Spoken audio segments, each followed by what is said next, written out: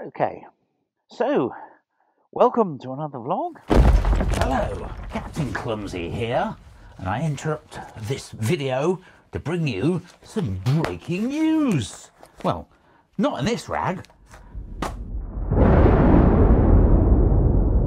You may be wondering what the heck's going on with the British motorcycle industry? What's going on in the rest of the world? What is the bigger picture? Why are dealerships closing?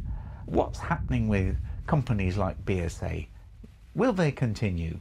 Well, hopefully I'll be able to clear some of those things up in this video, but I may be asking more questions than I can answer. Starting with the UK, uh, there has been a spate of high profile dealer closures in recent months, notably the Completely Motorcycles Group, but uh, also Harley Davidson, Triumph, BMW, etc. However, dealership closures is not new. Uh, sales figures are also initially looked quite disappointing, with a 14% uh, down in September, but overall the year minus 3.8%. There is also some economic uncertainty with the new government in and the budget just announced, which will affect uh, cost of employing people, high cost of borrowing, and so forth. However, a recent article in Motorcycle News, an industry spokesman, uh, described the sales as actually being more than the last pre pandemic year, which was 2019. So, overall, more robust than you might think. So, what is the situation with BSA? So, there's been initial uh, problems such as the headlamp cracking and uh, the cutting out. There have been some reports that dealers have dropped the brand, and more recently, there's, there's been this widely reported uh, episode where uh, an, an owner went to several dealers, couldn't get a trade in.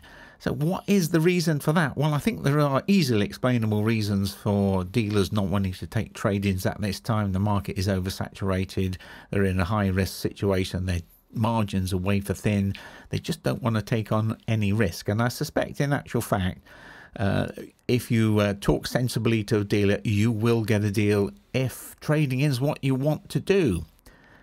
Now, despite the negativity in actual fact, the uh, one of the bright areas in the UK sales picture has been the modern classic sector, which the BSA is slap bang in the middle of. And when you examine the sales figures a little bit more closely, you will actually come across something very surprising, and that is the BSA Gold Star actually outsold bikes like the Honda CB500X, the uh, Triumph 660 Ad- Adventure, and the Yamaha MT07. All are well regarded machines that sell well. So, yes, victory for BSA there. They're not selling as badly as some people would have you believe. So, who and what are BSA? Well, actually, they're not the small company that many people perceive them to be, and certainly not as one uh, misguided troll on my channel commented cheap Chinese knockoff. It was only a bad engineering exercise. No, they're um, part of a group called Classic Legends, which in turn is wholly owned by Mahindra Group. Now, Mahindra are a ginormous company. Their turnover, and I'll pop up some graphics, uh, was 10 billion US dollars equivalent. Uh, they make huge amounts of things. They are a very well established company and they're part of the Indian market and that is doing exceptionally well currently. India are one of the two big players in the world motorcycle market, both domestically in, and in terms of manufacture. But by contrast, the Indian market is forging ahead and the Chinese are having some major problems. I think that is governmental uh, in China. They've recently had a policy shift, so that's affected particularly the EV market. But overall, EV sales are actually going ahead, whereas in the UK, they're dropping considerably. I think there is and needs to be a sort of a readjustment because what's happening in uh, places like uh, China, India, and other parts of the world is are that uh, motorcycles are used primarily for work and uh, commuting purposes and are a necessity, whereas in the West, in the UK, in the US, in Germany, Northern Europe, they're um, a, purely a leisure activity. So, what are Mahindra doing in India and also in Europe. Bear in mind, Mahindra also own Jawa motorcycles and the French Peugeot motorcycles brand, so BSA is one of a portfolio of three. So, looking first of all at the subcontinental market, you can see that there is now a dealership network that's been established. They were launched on August the 16th.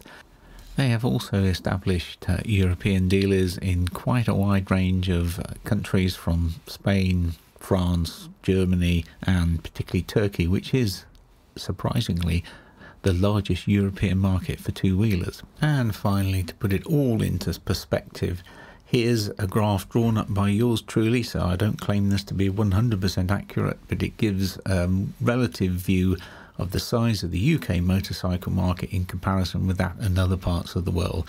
So basically, tiny, mis- minuscule, uh, inconsequential, generally speaking. So bear that in mind when we talk about all the other things going on that might be impacting on your choice of a motorcycle and whether you sell or buy or just keep the money in your pocket at the present time. Let's talk about some UK specific issues, and one of them is the demographics of the uh, rider group, which are mainly older, such as myself. Younger riders aren't being attracted as much, partly due to difficulty of uh, accessing a motorcycle license and cost of things like insurance, finance, and so forth. And there's the lack of government support for powered two wheelers or even the EV sector. So, uh, economically, they don't seem to be very interested, which uh, leaves us somewhat adrift given that there are some big problems on the horizon to be addressed. And I think. Um, if you also look at the structure of the motorcycle market, there's uh, definitely a polarization going towards part of the uh, lower end becomes occupied by companies like Royal Enfield and so forth, including BSA and maybe the Chinese manufacturers. At the top end, you've got companies like, say, Triumph, Harley Davidson, who are exploiting the wealth of the older riders. But uh, what about people who want to occupy the middle ground? That's a good question, isn't it? So that's about it for this uh, little examination of the UK and world motorcycle market and particularly BSA's position within that. Overall, well, I'll turn you over to Captain Clumsy in the studio for the final thoughts, but before that, can I just remind you to tickle the like bell, comment, subscribe, and keep coming back for more. Hello, Captain Clumsy again, and uh, to sum up, how are things going for the motorcycle industry in the UK and for BSA in particular? Well, I think overall not that bad. There are some ongoing problems with economic conditions, lack of government uh, initiatives, and their indifference to the powered two wheeler market. But there are also opportunities. Uh, there are worries about demographics, there are worries about lack of incentive for young people to get a motorcycle and the cost of training, etc but those are givens and we know about them. I think there is a slow revolution in the, in the UK motorcycle market towards lower price machines. However, there are still people who can afford the expensive ones. But I'm not one of them. Are you? I don't know. Put in the comments what you think. I'd like to hear opinions on all these sort of things. But I would say be reassured for now. Longer term, I don't know.